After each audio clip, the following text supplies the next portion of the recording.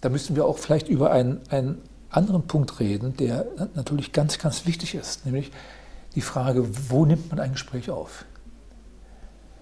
Äh, ein, ein, Mann wie Mendel Scheinfeld kann man eigentlich überall befragen. Im Kaffeehaus, auf der Parkbank, in der Wohnküche, überall. Er wird überall wird er gute Dinge sagen können.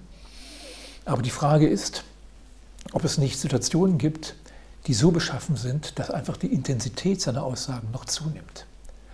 Und nun äh, hatten wir also für ihn eine Situation, die eigentlich die belastendste war von allem. Meistens überlegt man ja, wie kann ich einem Protagonisten diese Aufnahme erleichtern. Also wo fühlt er sich wohl, wo ist der weichste Sessel und dann zu Hause und ja.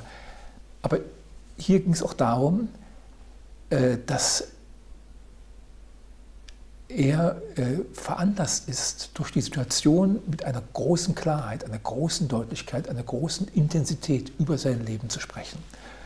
Und die war natürlich gegeben durch die erwähnte Belastung. Und die Belastung ergab sich einmal durch die Reise in genau das Land, von dem die üblen Dinge ausgingen für ihn und seine Familie. Dann der Grund der Reise, dass er auch mit diesen Leuten noch streiten muss, ob sie ihm ein bisschen mehr Rente geben oder nicht. Dann äh, die Zuhörer, eine Gruppe von Deutschen, die er auch weitgehend kaum kannte. Und dann das Sprechen in der Sprache eigentlich seiner Feinde. Also größer konnte eine Belastung nicht sein. Und auch da muss ich sagen, wir haben Glück gehabt, dass er das durchgestanden hat und dass diese Belastung ihn zu einer ungeheuren Intensität seiner Aussagen geführt hat.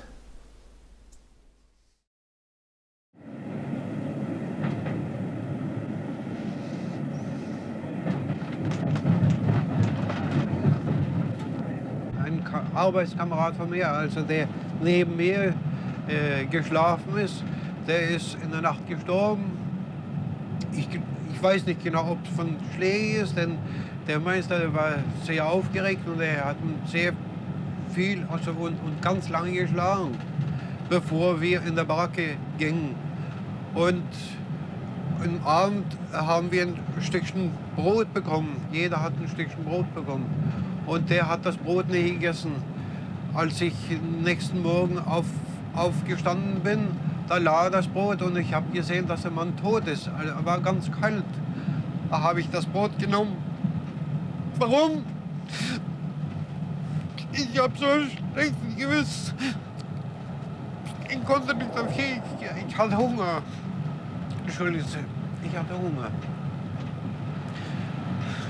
Mein einziger Gedanke war nur, satt zu werden. Ich war wie ein Tier, so war mit allen anderen auch. Manche haben Fern, äh, Zigarettenstumpf, haben sie, haben sie das letzte Stückchen Brot weggeben. Ich habe es aber niemals getan. Aber ich habe ein schlechtes Gewissen, dass ich. Warum habe ich gerade das Brot von ihm genommen? Ich hatte Hunger. Ich, ich glaube, ich habe ein schlechtes Gewissen, aber andererseits, ich, ich konnte es nicht sein lassen. Ich hatte immer Hunger. Auch die anderen hatten Hunger, aber ich, ich fehlte es nicht. Ich selbst weiß, dass ich Hunger hatte. Ich habe auch manchmal Gras äh, versucht zu essen. Ich habe es oft getan, es war aber nicht dasselbe. Brot, Brot, Brot waren meine Gedanken. Brot, mal satt zu werden. Und da habe ich das, das Brot von den verstorbenen Mann genommen, leider.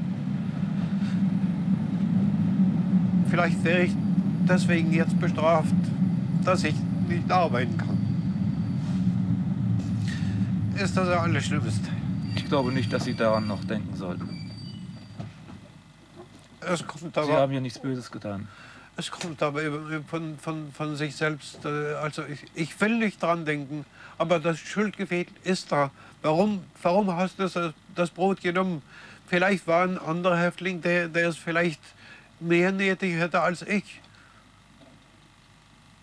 Ich kann es nicht begreifen, ich habe aber das Brot genommen, ohne daran viel zu denken. Ich hatte Hunger und da habe ich das Brot geklaut. Ich habe geklaut. Ich hatte Hunger. Das war der einzige Gedanke. Leben, leben und mal satt sein. Nochmal einmal satt zu werden und, und dann habe ich mir gedacht, da kann ich ruhig sterben. Aber satt. Nicht um Hunger, sondern satt